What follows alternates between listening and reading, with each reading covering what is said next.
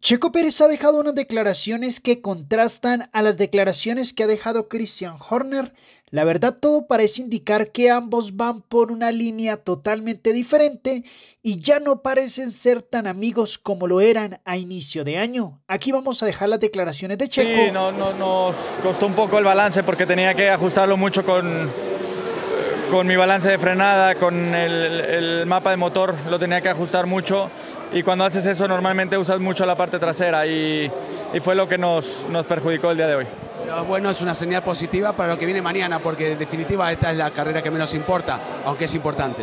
Sí, sin duda, yo creo que tenemos que estar enfocados en, en la carrera, en la calificación para mañana. Será muy difícil hacer progreso en el sprint.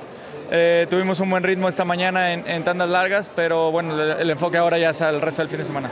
Pero estas declaraciones contradicen todo lo que ha dejado Christian Horner, quien ha argumentado lo siguiente.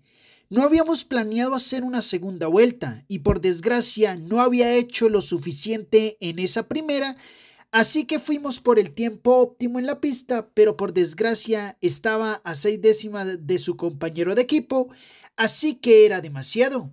Aquí lo que está haciendo Christian Horner es que le está enviando toda la culpa a Checo Pérez porque según por culpa de Checo no han logrado avanzar a la SQ3 después de que Sergio Pérez ha dicho no me han sacado con el tiempo para poder marcar mi otra vuelta rápida, la verdad todo parece indicar que la relación entre ambos ha quedado a un lado.